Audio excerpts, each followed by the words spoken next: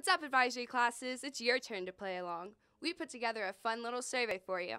We have eight university fight songs, and the first advisory class to guess all eight correct first wins a prize. Now, the survey is located somewhere on itslearning, and ask your teacher where it's located. Good luck!